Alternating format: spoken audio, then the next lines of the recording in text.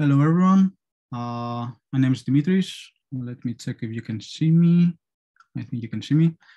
And this is Deep Learning with Python, the 12th chapter. So today we will go through some generative deep learning, uh, and specifically four types. So first of all, we will start with text generation, uh, close to what we saw last time, but this time with generation, not uh, just prediction.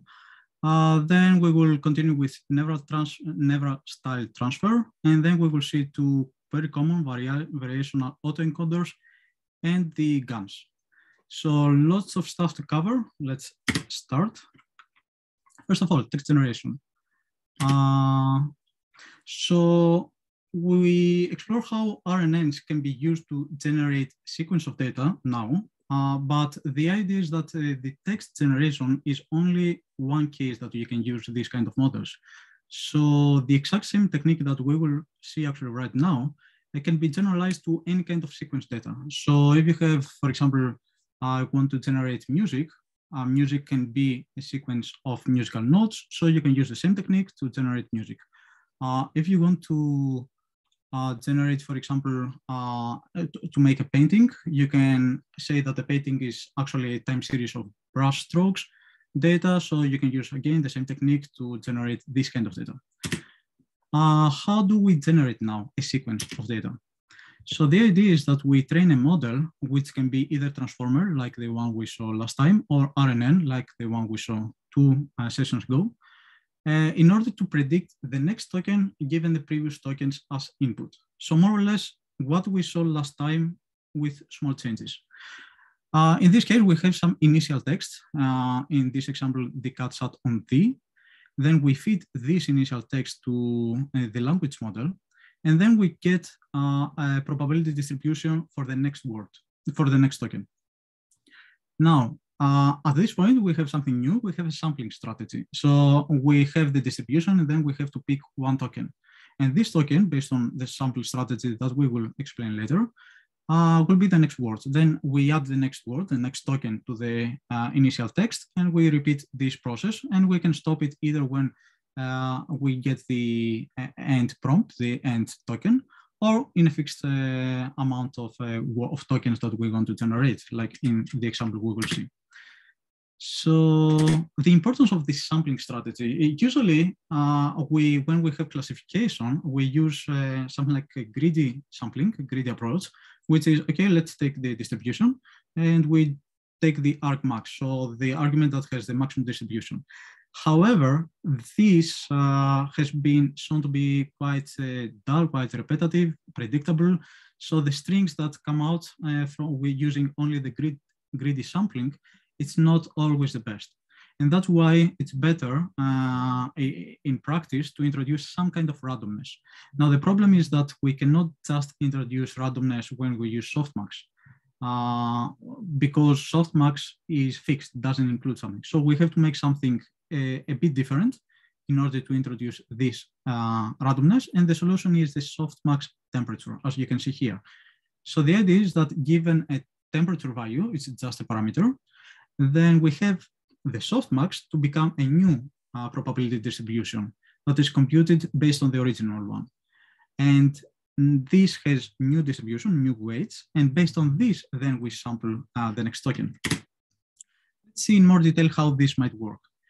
So how we can reweight a probability distribution based on different uh, temperature degrees, temperature values. Here we have the function that we are going to use. And the whole idea is that we have the original distribution, let's say the output of softmax, and then we have a temperature value. And we just apply this. So it's just this uh, mathematical operation. And then we take the exponential and we return in order to have an actual uh, distribution, we have the sum to be equal to one. So we divide by the sum of the distribution.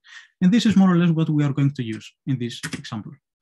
And here you can see how this uh, could actually function. So if we have a very, very low temperature, then all the new weights will be assigned to the most probable word based on the previous uh, uh, distribution. So you can see that this is almost everything here. But if we start increasing the temperature, the stochasticity, the randomness, then you see that other uh, uh, other tokens can get a higher uh, value, higher value in the probability. And of course, in the end, we just randomly sample from whatever is the new distribution.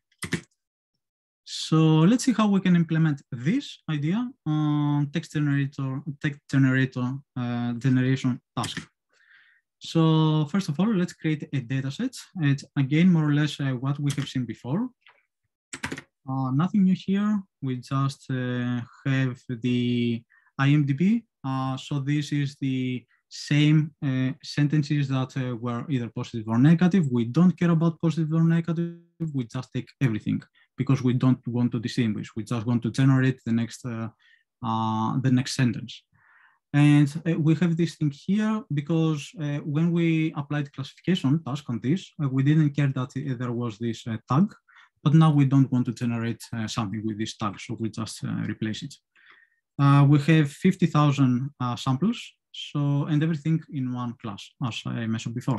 So lots of uh, samples to train on. Now let's prepare the text vectorization uh, layer. Uh, I probably you remember, we just defined the sequence length. So how many tokens maximum and what will be the vocabulary size. And based on this, we take the 15,000 most common words of the corpus. Uh, let's run this. And what we return in the end is just the integer, which is the index in the list of the, uh, of the vocabulary. Uh, so just one number per token. Uh, let's set now the set up the language modeling dataset. So the idea here is what will be, we have this text vectorization, and then we want to uh, prepare what will be the input and the target. So the idea is that we want to feed everything, the whole batch, of course, and we want to feed up to the penultimate, the one before the last one uh, element as X as input, and for the target, the Y will be from the uh, second one until the last one. So the idea is that every time we feed up to a point, we want to predict the next. And we repeat this with more and more and more. And here is what we actually do. We take this uh, uh, function and we map it to our dataset. Okay, so let's continue. Again, these are stuff that we have already seen before. That's why I'm uh, passing them quite uh, quickly. Now, a transformer-based sequence-to-sequence model. Uh, the idea is to train, again, the model to predict the probability distribution for the next work, word, uh, given some initial words. It can be one more or more. And during inference, the idea is to feed the model again with the initial prompt. It can be one word or a sentence. Then sample the next word uh, add the next word to the prompt, and then repeat it, feed the new prompt to the model to get the new word. And we will use the sequence-to-sequence -sequence architecture uh, from the last chapter.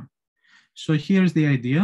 If we had just a next word, next word prediction, then if we have one sentence, we will just use the whole sentence up to uh, the penultimate uh, token and predict the last token which means that each sentence can be used only once as an example.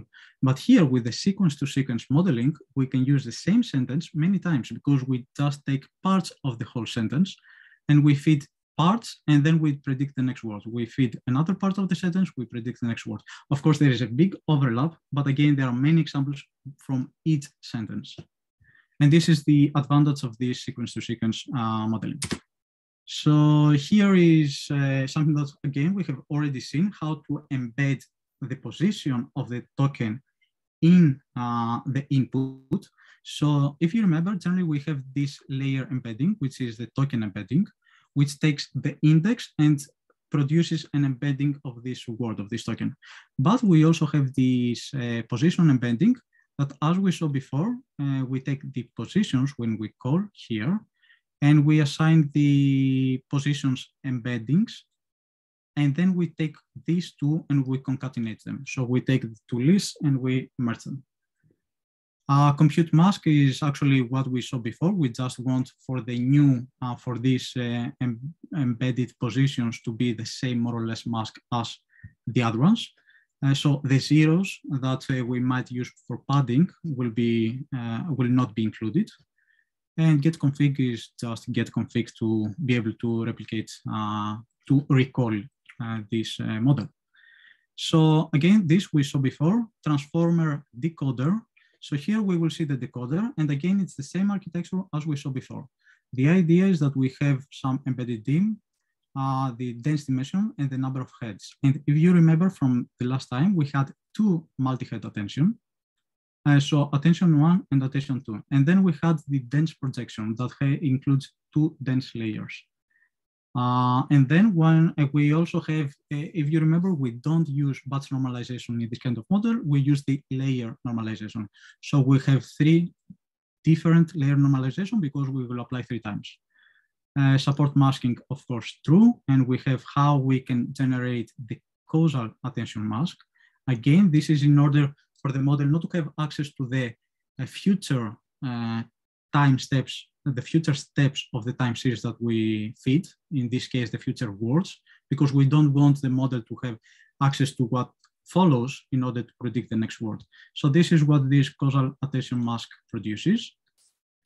And then we have the call. So the call is pretty straightforward based on what we saw last time. We just produce this causal attention mask.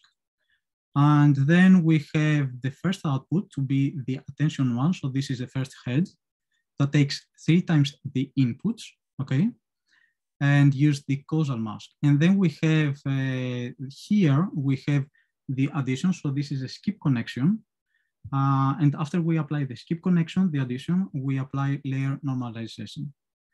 And then we have the second output to be uh, the output of the second attention head, the multi-head. And here we feed uh, one time for the query, we'll, have the attention output one, uh, which comes from here. So we feed this output plus the encoder outputs here twice. And in this case, we use the padding mask. Again, uh, you can see it in more detail in the previous session because we explain exactly what uh, each one of them is and why use, we use this. This is just a copy from the last session. And of course, we apply layer normalization too, and this is applied on the skip uh, connection. So we have addition of this output with the previous outputs. Uh, we have the dense projection, which is again the two layers, the two dense layers that we created uh, here, or here, okay? So we apply these two dense layers, and then we have another skip connection. So let's come back. We have another skip connection. The last one, we apply layer, layer normalization, the last one, and we return the output.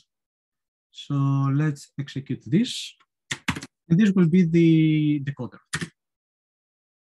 And here is how we can apply this uh, on a task of generating uh, text.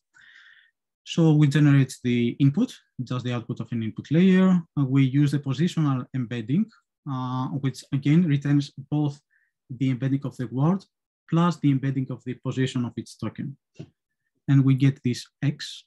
And then we pass this uh, twice here to the transformer decoder with whatever values we want here we take this and in the end what we want so this is just some way to um, to make an embedding and encoding of the information that is useful for the existing sentence in the end we want to use this information from the existing sentence to generate the next word so what we need is actually just a dense layer that will output how many words we have just a distribution on the whole vocabulary and we use softmax because we want to pick one so we take this output, we create the model from inputs to outputs, and we compile, and we just use sparse categorical cross entropy. So nothing uh, new here. So let's create the model. And here we will also create a callback, which is just in order to, so during the training to produce some uh, some sentences to see how it's going. So it's training good or bad, or what different values of temperature could be uh, good or bad based on the results. So uh, this is the this is just the sample next. Here is more or less what I explained before. So we just take the predictions, we take the array, and we apply these uh, two lines, these two operations that I showed just before, which is how to get a new distribution based on the temperature. And then this is how to sample from this distribution. And after we sample, we create a new uh, sample. We just take the maximum argument. And this will be the index from the whole vocabulary of the word we want to pick next. So we will use this inside here. Here is just, uh, um, just a callback that generates, uh, use the text vectorization. We take the tokenized text, we feed it to the model, we take the predictions, and then we use this prediction to sample next. And we use, this is the next token index. And we feed it to the token index uh, dictionary that will return a word, the actual word that we want to use. And what we do next is that we take the existing sentence that uh, at the beginning is whatever prompt we use. We add a space and the new word. And this will be the new uh, prompt that we will use. And we repeat this uh, for as many times as we want. In this case, I think we will use 100 uh, times, 100 new words. So this will be the original, the initial prompt, this movie, and we want the model to continue. Uh, and we here we define how many temperature, different temperature values we want it to, to sample from. And here is the fitting. Of course, we will not fit it now. I already fitted it before. It takes some time. And here are some examples actually from uh, what you can see. And you can see these kind of examples that uh, the outputs also in the book, it's more or less same. Uh, and the idea is that, for example, this movie is uh, a known word uh, of the original movie and the first half hour of this movie is pretty good, but it is very, very good movie. So at the beginning, maybe it's not uh, it's not very interesting when we have quite a low temperature. But as the temperature goes higher, for example, 0.7, and you can see that it can generate something quite more interesting, maybe. Uh, this movie is fun to watch, and it is really fun to watch, okay. All the characters are extremely hilarious. Yeah, it gets a bit better. I mean, of course, you can get much better results if you use something bigger, but the idea, and of course, if we continue to increase the temperature, you get something that um, starts not making lots of sense. Uh, it breaks the coherent, it's not very coherent in the end. So this movie could be so unbelievable. Lucas himself, yeah, it doesn't make always sense again. But the idea is that, uh, again, with low temperature in this specific uh, dataset and with this specific model and training parameters, uh, low temperature might predict some repetitive text. Higher temperatures uh, start generating a text that is uh, more interesting. But if we go to very high temperatures, like 1.5, the local stru structure, as you can read and understand, starts to break down and it outputs something random uh, sometimes. Uh, so this is very fast. The idea of uh, how we use something that we have already seen, the decoder from the previous chapter, in order to generate the next word. And now if you want something better, of course, you can achieve this. Uh, one way would be to have a bigger model. So you can stack some of these uh, layers that we produced and not use just one layer. You can stack more layers to embed this information. Uh, you can have longer training for uh, more epochs, or you can actually use more data if you have available data. Uh, so actually GPT-3, the very famous uh, model, is broadly speaking, more or less the same, but it's a deep stack of transformer uh, decoders uh, with many uh, bells and whistles, of course. But it's the same idea. You have the transformer decoders stacked uh, to each other, and of course you have a huge training corpus. But the main idea is the same. This is how it generates prediction export. So this was for the text generation. And again, you can use the same technique to generate any kind of sequence data. Now let's move to a completely different, neural uh, style transfer. Probably you have seen something similar to this. Uh, it was introduced in 2015. Uh, there are many variations out there now. There are many applications that you can use your smartphone to download, change the style of what you see. So the main idea from for neural style transfer is that you apply the style of a reference image to a target image while conserving the content of the target image. So here we have the uh, content image, and here we have the style transfer and the style reference. And the idea is to keep more or less the content, so the houses and the uh, river, the trees, but to use the style of the reference image. And this could be something uh, like the result. Now, uh, how can we define the style? How can we define the context? Uh, the, the content. The idea is that the style could be the textures, the colors, uh, or some visual pattern, patterns that are uh, in this style reference image uh, at various uh, spatial scales. So it can be from very small scale to something bigger that covers uh, how the brushes move. The content, on the other hand, is the higher level macro structure of, of, the image. So there are some houses here. Again, there is uh, this river and there is the sky, etc. So these are the macro structure. So the goal would be to conserve the content of the original image while adapting the style of the reference image.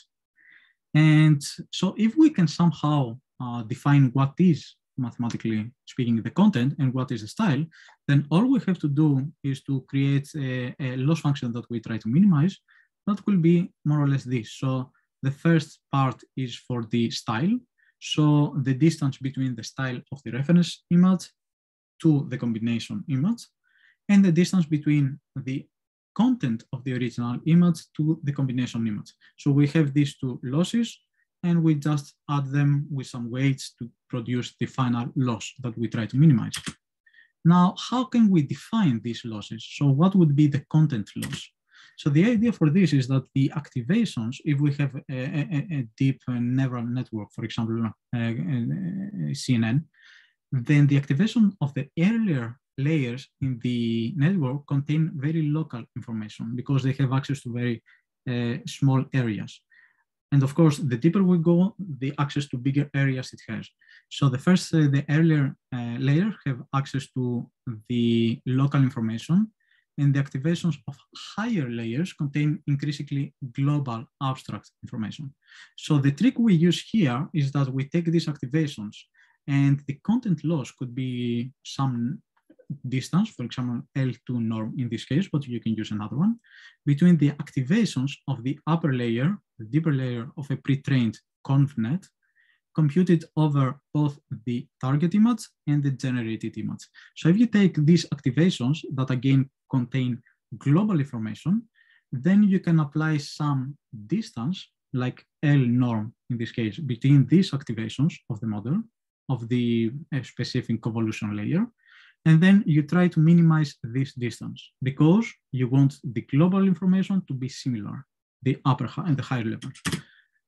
Similarly, for the style, you will use earlier activations of the model.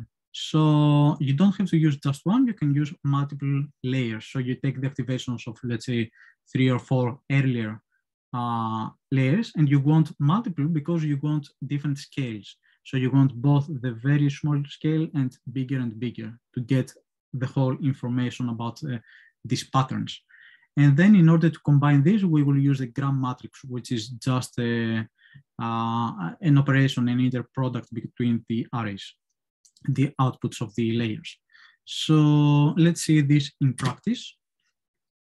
So how we, we can uh, apply neural style transfer in Keras? The idea is that we will do something similar to the original paper.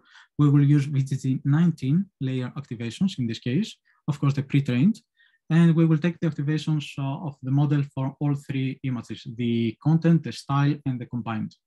Uh, we will compute the loss, and then we will use gradient descent, of course, to minimize this loss. Again, the loss will be the combination. Uh, now, let's first of all download the images. Uh, so, and see the images. So this will be the two images that we will use. This will be the content. It's just an image of, uh, I think, San Francisco. And this is uh, from the Gogh uh, painting as style. And uh, now let's define some functions. So this is just the pre-process and the deprocess. So for the pre-process, we just want to have a specific uh, dimensionality, so image uh, height and width. And we take the array out of the tensor. We, or whatever it is, the object here, we expand the dim so that we have a batch of one image, because again, we need to fit batches to the Keras model. Uh, and we apply whatever pre-process uh, VGG19 needs, and it's already given here. So after we apply the pre-process, we return the image. And the deprocess is actually the opposite. It doesn't include the deprocess input, so we have to do it manually. This is how you reverse this pre-process.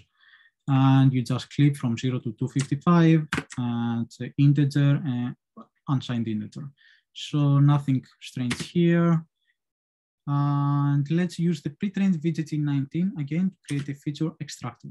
So first of all, we get the model, uh, again, Keras applications, VGG19. This is a model, and of course, we want it to be pre-trained.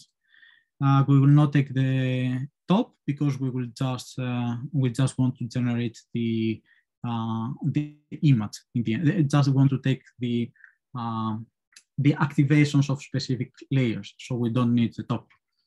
And what we do here is that we create the output dict. So the output dict is just a dictionary uh, with the name of each layer that we want to use and the output of this layer, the activations of this layer. And the feature extractor is, it, extractor is just a model that takes the inputs of the model, so just the input, the image, and it returns all these uh, activations. So it returns, I don't know, 19 maybe, how, how many ever layers it has, all this uh, will be outputs. And of course, we will keep whatever we want from this dictionary. Now the content loss, let's see how we define the losses now. So we have the base image and the combination image. What we define here is just difference between these. We take the square of this and we reduce sum. So nothing strange here. And of course, these are the activations of the image. And the style loss, here we use uh, this gram matrix that I mentioned before. It's just uh, this uh, multiplication. We use the features and the transform transpose of the features. So you just copy paste here. And here is what you use for the style loss. So we have the style image and the combination image. We get the gram matrix of both, which is S and C. And then we just apply this. Again, you just copy paste this, it works. Uh, and let's see the total variation loss. So the idea for the total variation loss is that uh, this will encourage the model to produce uh, something that is more continuous and uh, the, the, spatial continuity of the generated image. So we see that this works, it works better if we also add this, and this is why we add it. And again, don't uh, ask why, we just um, use this. You can copy paste this. It will probably work better with this. And we have, of course, to combine the three losses. So now we will see how we combine the three losses. First of all, we have to define which layers we will use for each loss. So the layers that we are going to use for the style uh, loss will be these. So the, from each block, we take conv one. We can take, for example, four of them or six of them. You know, it's up to us. So here is how many layers we will use for the style loss. And for the content loss, we just take the last uh, convolution layer and just one. That's all we need. And of course, we need to define some kind of weights uh, upon the these losses. And these numbers, I mean, uh, it's just experimenting. You try different numbers, you see what works. Uh, these are what the book proposes in this case.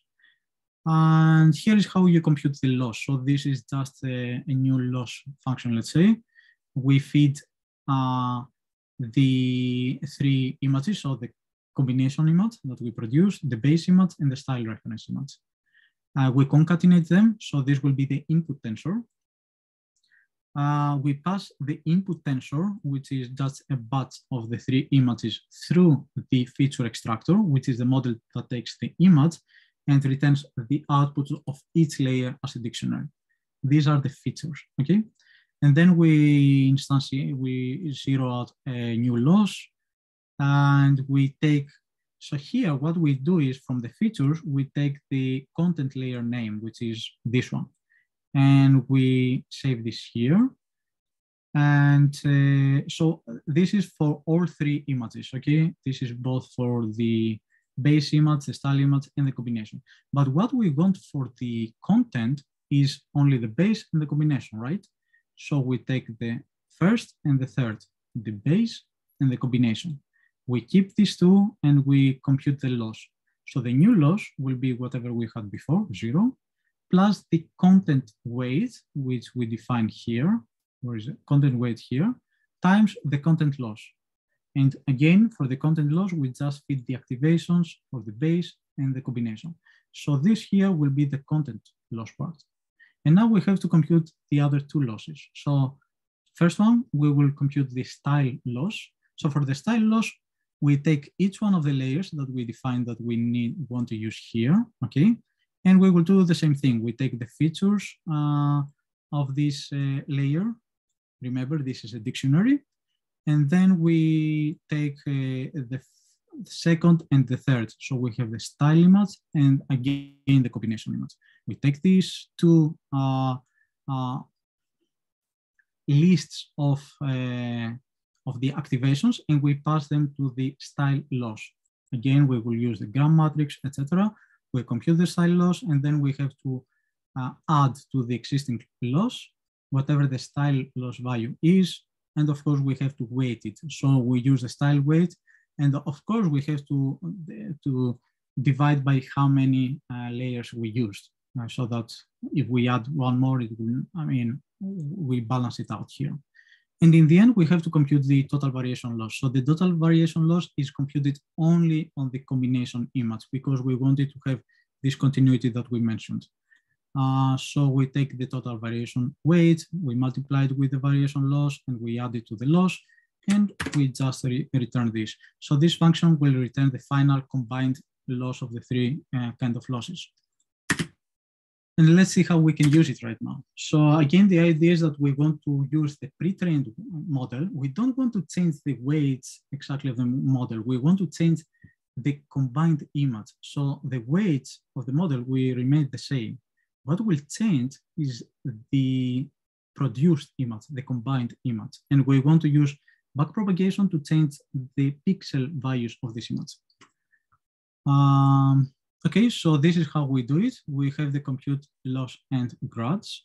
We feed the three model, uh, the three images here, the combination, the base, and the style. Uh, we compute the loss, the function we just saw before, over these three. We take the loss with a gradient tape, of course, and then be careful here, we use, we want the grads of the loss with respect to the combination image. Again, we don't want to change the weights. We don't use some like model dot trainable weights here. We change the combination image. And uh, here we will define an optimizer, nothing strange here, apart from this part, of course, because you can see here we use a very, very big initial learning rate. Uh, and of course, we decayed it, but still it's uh, very big. Uh, and we just take the images. So from the base image, we take the base image path we pre-process to take the base image. We use the style uh, reference image path for this. And for the combination image, uh, be careful, we use a TF variable because we want the values to change over the iterations. So it doesn't, it cannot be constant. And we use, we start, we instantiate with the base image. So we start with whatever this is, and then we slightly change every iteration to look more like this. And what we do here is that we just, okay, we will not run again this one, but the idea is that we compute the loss and the grads. We take the grads, and then we use the optimizer to apply the gradients that we computed again on the combination image. Be careful, not the weights of the model. Uh, and we just save it. So let's run this. And here you can see what will be the results. So I just load something that I have already saved. And this is more or less what it looks like in the end if you follow this. Not bad. Uh, I mean, it's quite good. it, it is, uh, the content remains. I mean, here is what we had before, the houses, this small island, etc. Uh, and, and, I think you can also see the bridge. And uh, of course, the style looks somehow the style of the uh, of the painting. So it's not bad. So the what is the problem with this technique? The problem is that uh, first of all, uh, this technique forms uh, a form of image retexture to texture transfer.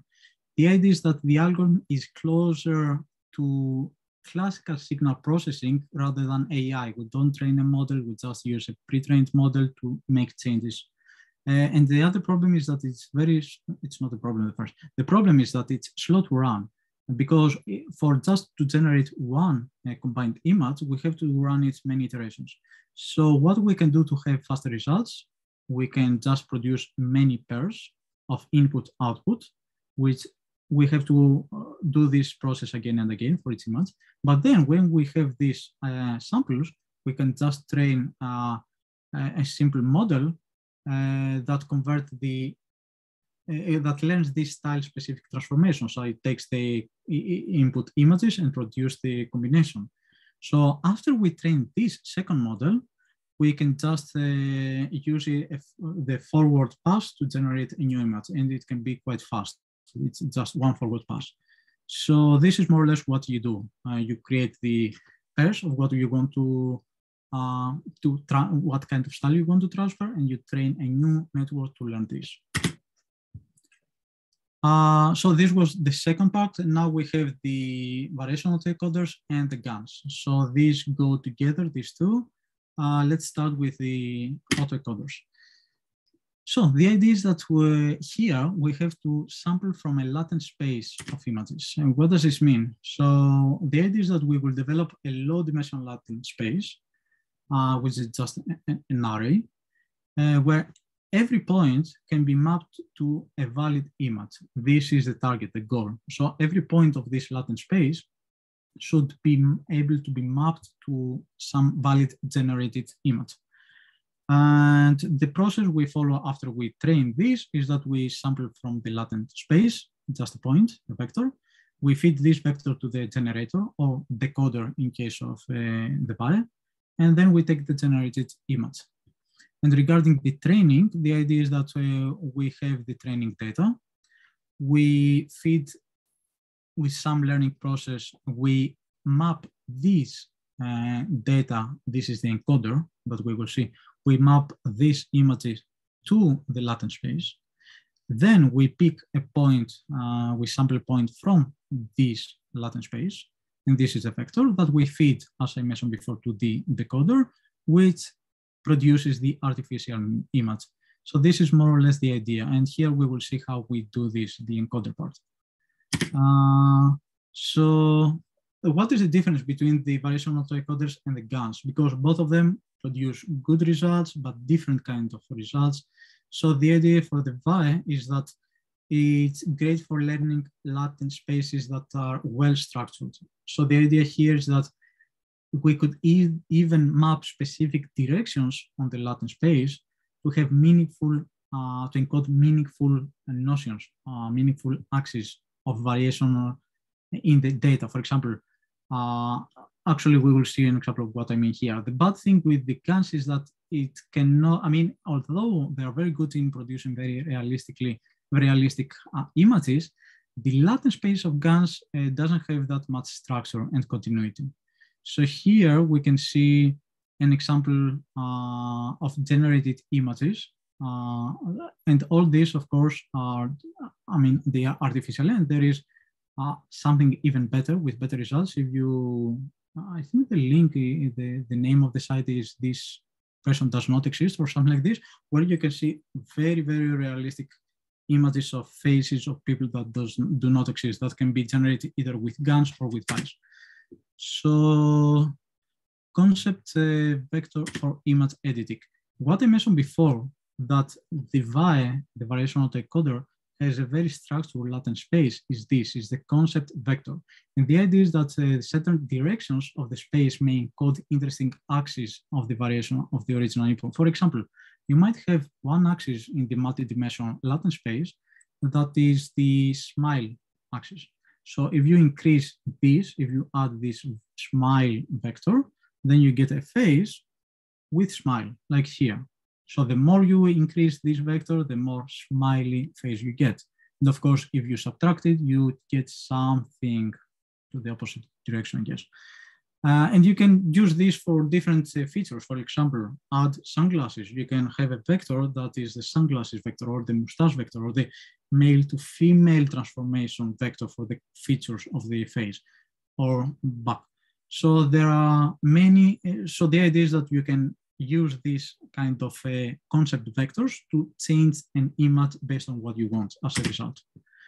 Let's see how this works, the variation autoencoder. So first of all, we will see the classical autoencoder. The idea for the classical is that we feed it an image.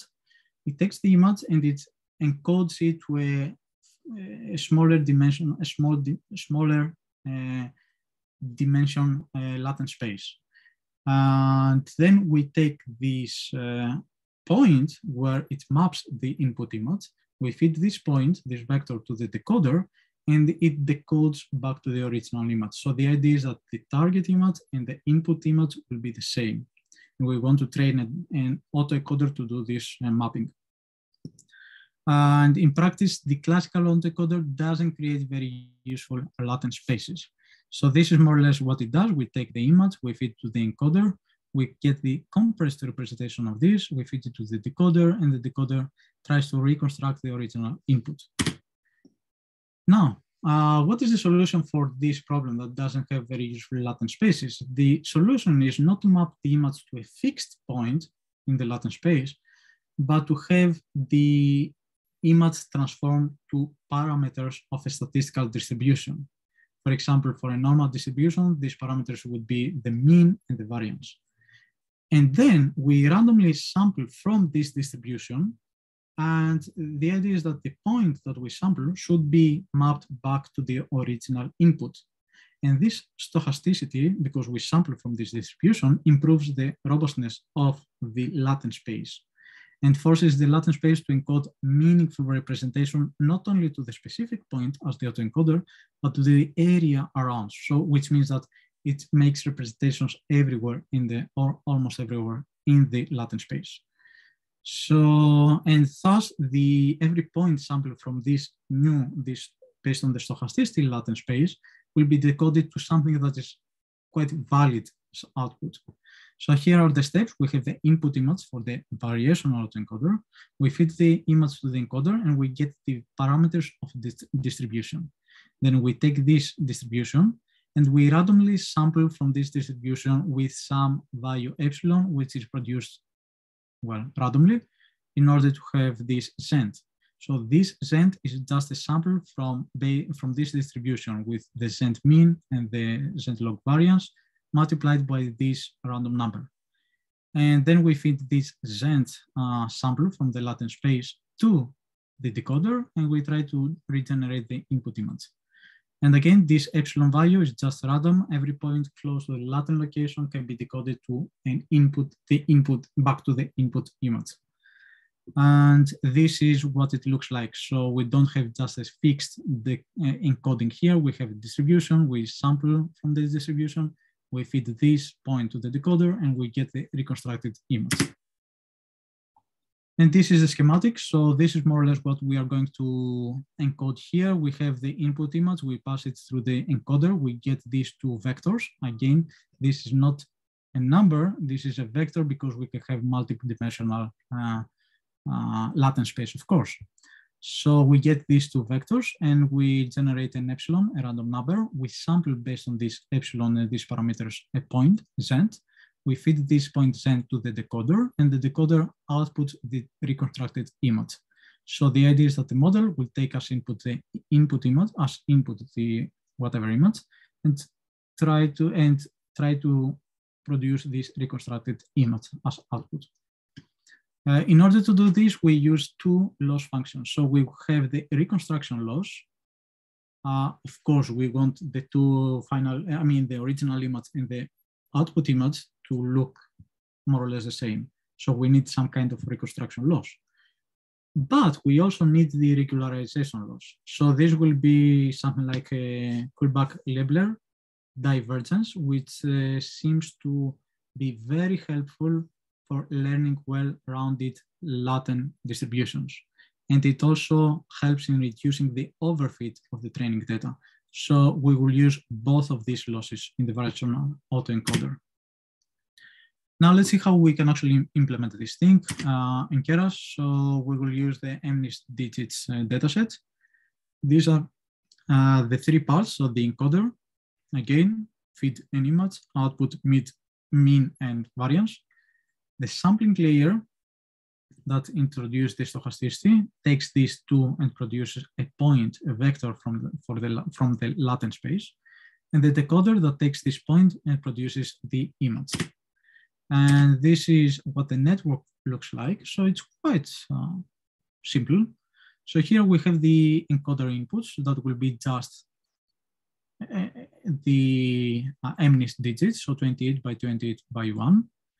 Uh, we define what is the dimensionality of the latent of the latent space. Here we define two so that we can visualize, but of course you can have higher dimensionality. And this is the encoder. So we, uh, we just have a convolution to the uh, 32, another convolution 64. These numbers here are more or less uh, standard, activation ReLU, strides 2 because we want to get bigger and bigger, and padding same, so nothing strange here. In the end, we flatten. Again, remember here, we want to have the two outputs. So we flatten and we have a dense layer. Uh, that is the intermediate, encoding. And then we have two outputs here. One output uh, with latent dimension, which will be the mean, the Zend mean, over this, and another output on the same x, so this one for both layers, again two output uh, two latent dimension two as we defined, and this will be the log var. So these will be the two outputs, and that's why we have a list of these two. And the input, of course, will be the encoder inputs. So we define this model, and the name of this model will be encoder let's see the summary. So the idea is that we have whatever input uh, we have here, 28 by 28 by 1. And we just have the two convolution, we flatten it, uh, something intermediate, and we have two outputs here, okay? The mean and the var. Let's continue and see how we can make the second part. So we have the encoder, the sampling layer, and the decoder. This is the sampling layer. So for the sampler, this is just a Keras layers layer object, so we just uh, inherit, and we have to define the call function. So that's all.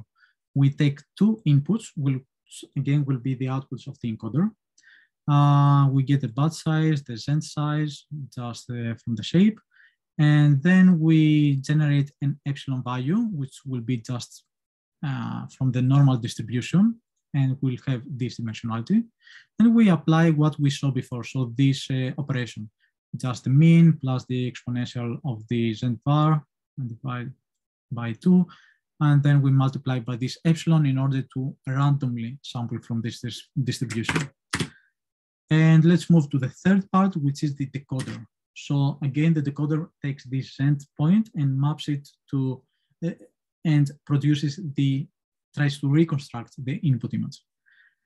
So the inputs will be just uh, the point, so the dimensionality is the latent dim. And then we try to do the opposite from before. So we start, if you remember, with the last layer was 7 by 7 by 64. So we start with 7 times 7 times 64, which then we reshape to start with this. And then we use conv to the transpose in order to make it uh, bigger. So we start from 7 by 7, and then uh, I guess here it will be uh, 14 by 14, and then 28 by 28, Be because we use strides 2. So again, for conv to the transpose, it's getting bigger with strides 2, not smaller. And here we use just the reverse numbers that we used before. And the output will be just uh, the convolution layer with one kernel because we want 28 by 28 by 1, if you remember. It's a grayscale. And uh, we want numbers between 0 and 1, so sigmoids and nothing strange here. And the actual model will take whatever this point from the latent space and will return the reconstructed image, the decoder output. And let's see the summaries. So we start by with one vector of dimensionality two in this case, and we produce this, we reshape it to this, we make it bigger, and we make it even bigger, and then we make it one channel from zero to one. So pretty straightforward, and let's see what is the train step. So here we will use, I mean, there is another way to do it, but maybe the easier way is just to inherit from model. So we just pass the encoder and the decoder models here we instantiate the uh, super, the model class. We assign them, we take the sampler, which this sampler is the function that we defined before. Uh, and we use some trackers for the total loss, the reconstruction loss, and the KL loss. So these are just trackers with mean. Uh, we define a property metrics that just returns a list of the three losses, the total and the two reconstruction and KL loss. And here is what actually is the important. So first of all, of course, we open a gradient tape. We pass whatever data, the images, the batches of images through the encoder. The encoder returns two vectors, the mean and the log var, and we pass these two through the sampler, which returns a point, from a randomly sampled point from the latent space. We feed this point to the decoder and we get the reconstructed image. And then based on this reconstructed image, we can compute the losses. So here we have the reconstruction loss, which is just the input and this reconstructed uh, using binary cross entropy. So nothing uh, special here. We reduce mean. And this is what is the KL loss. Just copy paste this. And of course, the total loss is the sum of these two losses. Uh, now we have to get the gradients and of course uh, back propagate. So we have the total loss applied on the self-trainable weights. And we get this grad and we apply it on the trainable weights, which of course include both. Uh, we will see exactly what happens here. So, and we update the state of all these three uh, losses. And of course, we, re we return the dictionary with the whatever loss dot result to get the actual result, which is the mean up to that point because we use the tracker. So let's see how we can train this uh, variation autoencoder. Uh, so we have the, uh, we just load the MNIST, we concatenate both the train and the test. Uh, so we use everything. Uh, we divide by 255, we define the model here and we compile the model using Adam. Uh, and we run this. Of course, we should have fits. I already fit it. So let's see what this produces. It will take some time. So here, more or less what I do is that uh, if you remember, we have two numbers. Uh, the vector space, the, the vector size for the latent uh, space is two. So we get uh, a linear space. So we get numbers from minus one to one and we make a grid for all the combinations of uh, mean uh, of the x and the y in this uh, latent space. And we produce the results. So this is what it looks like. And here you can see all the numbers, all the 10 digits in different areas. For example, up here you can see the nines, here are the eights, down here are the twos, the fives, the zeros, etc. So here are the threes. So all the numbers are mapped somewhere here. So this was more or less how the variation autoencoder works. We take the input image, we produce uh, the parameters of a, a, distribution, we sample from this distribution, and we try to reconstruct based on this sample point.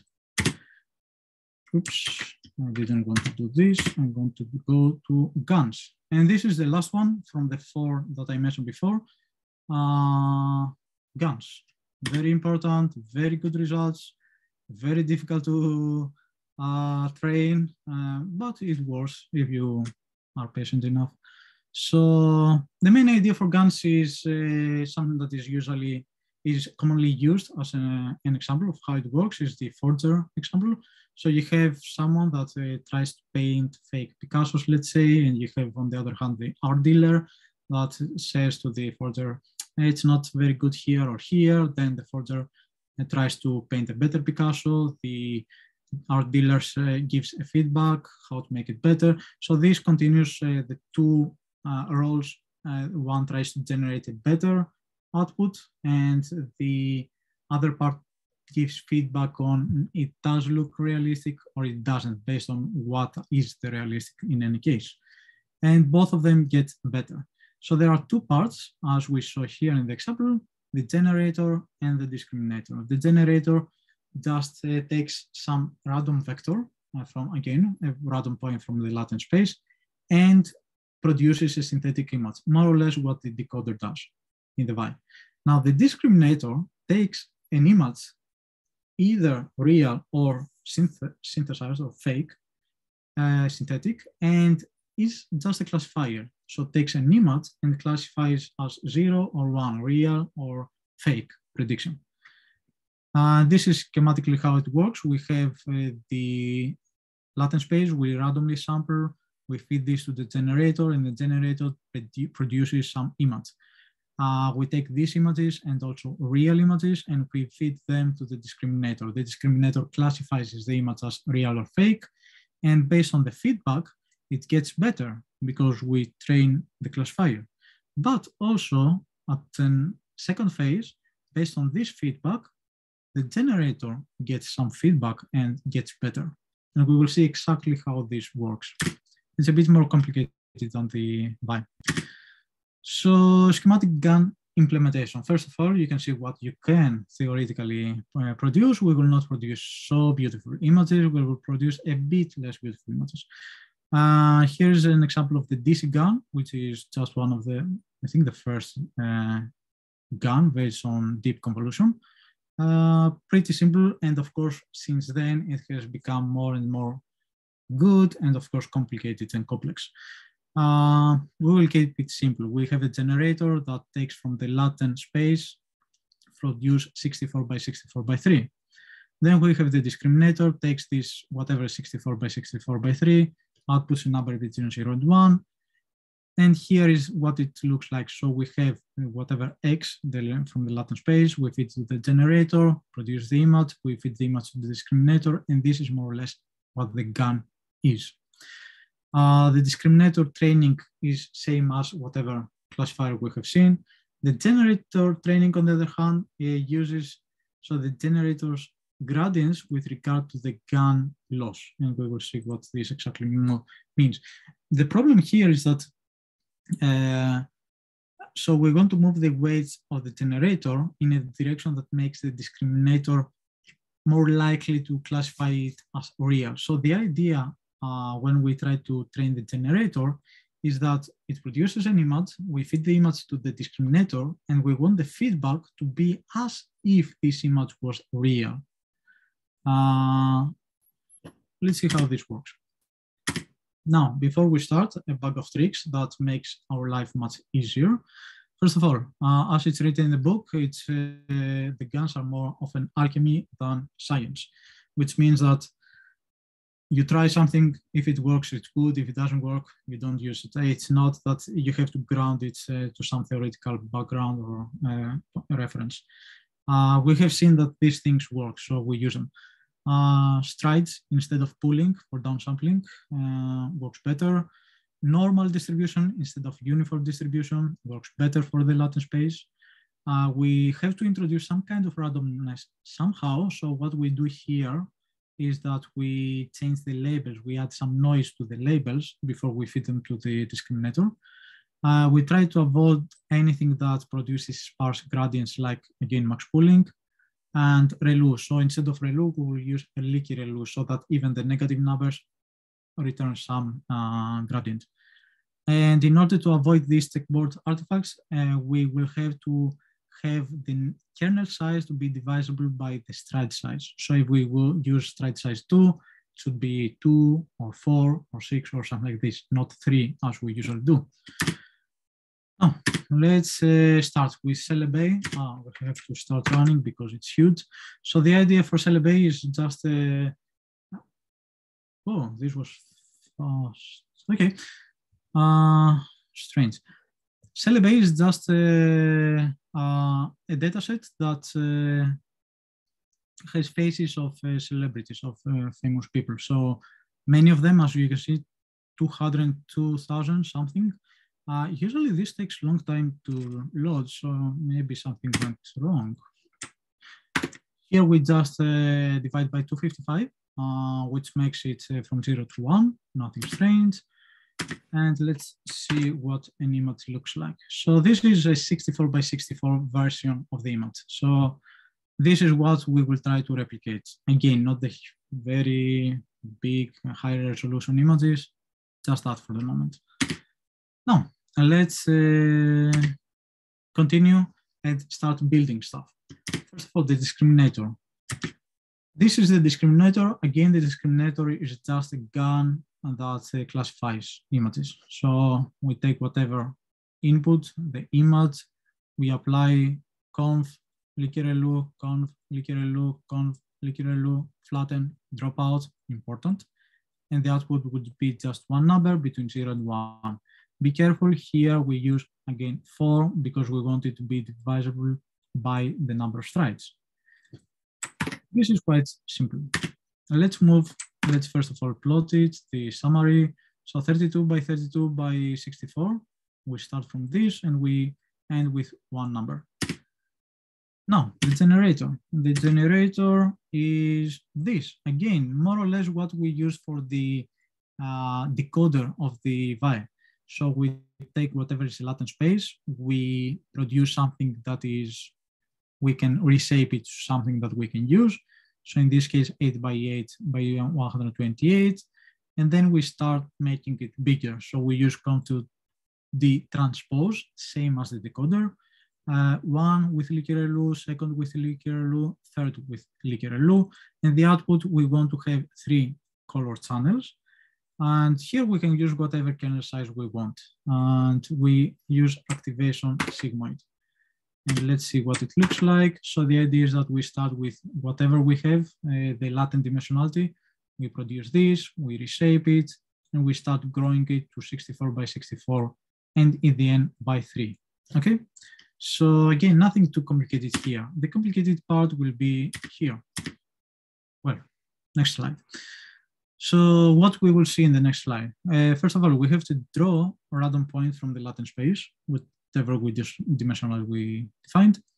We generate images with the generator using some random noise. Then we mix these generated images with real ones. We feed them to the discriminator and we try to train it to classify correctly. Then second phase, this is the first phase and this is where we train the discriminator. The second phase is where we train the uh, the uh, the generator, the, the, the, the, first part. So we draw new random points from the latent space, and then we train the generator using the random vectors with targets that say these are real images. So this is important point. And this is how it works. Again, we will inherit from model. Uh, it's simpler maybe that way. Uh, we feed these two models and whatever latent dimensionality we need, we instantiate super, we assign them. And here we have the trackers. So the, tra the tracker for the discriminator loss and the tracker for the generator loss. We define internally compile. Okay, so we feed the two optimizers to compile and the loss function. The loss function is one, is the one that will be used for the discriminator. We we run super compile, and then we assign these to optimizers to use them later on. And of course, the loss function.